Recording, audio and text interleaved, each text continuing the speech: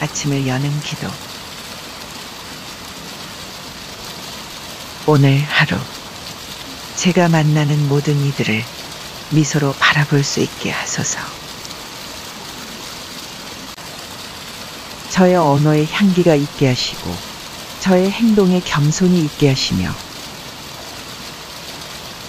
저의 가치관으로 남을 판단하지 않게 하시고 작은 것들을 소중히 여기는 마음을 주십시오.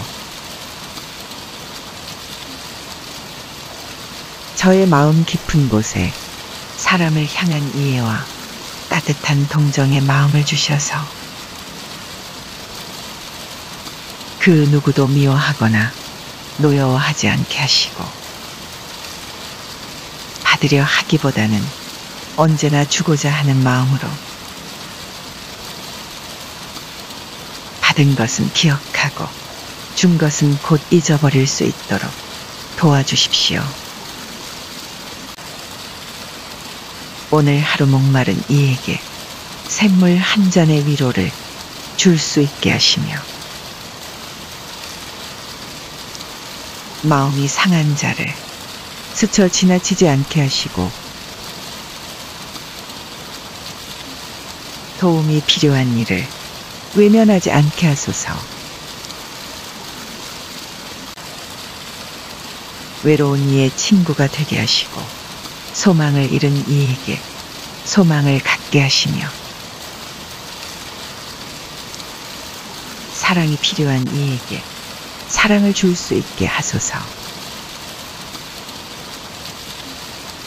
제가 만나게 되는 모든 사람들을 당신이 바라보는 눈길로 바라볼 수 있게 하시고 그들이 저를 통해 당신의 사랑을 느낄 수 있게 하소서. 영혼 깊은 곳에서 올려나오는 찬미가 들꽃의 향기처럼 세상으로 가득 퍼져 가게 하시고 오늘 하루 저의 마음으로 행동으로 언어로 그려진 그림들이 잠드는 시간에 아름다운 그림으로 당신께 드려질 수 있도록 좋은 글 중에서